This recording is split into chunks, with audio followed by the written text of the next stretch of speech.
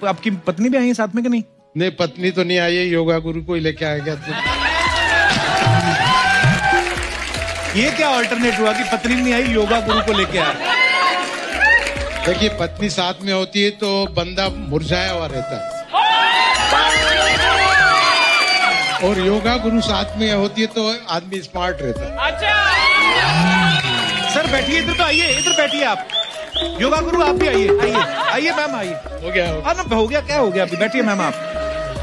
तो ये जो आपने बात कही है बीवी का हल आपके पास भी नहीं है। देखिए बीबी का हल तो ब्रह्मा विष्णु महेश के पास भी नहीं था। हमारे पास कहाँ से है? नहीं तो पर आप जितने ऐसे मतलब मज़ेदार इंसान हैं, घर पे भी आप, मैडम को भी ऐसे खुश रखते हैं, हंसाते बताते हैं ऐसे कि नहीं? नहीं नहीं, देखिए, जो लोग बाहर खुश रहते हैं, वो ज़रूरी नहीं है कि घर में खुश बहुत बहुत धन्यवाद आपका। सर, क्या बात है, सर, मज़ा आ गया।